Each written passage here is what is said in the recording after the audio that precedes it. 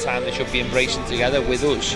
And we don't get that opportunity, unfortunately. But certainly we carry their wishes, we carry their their hopes and prayers.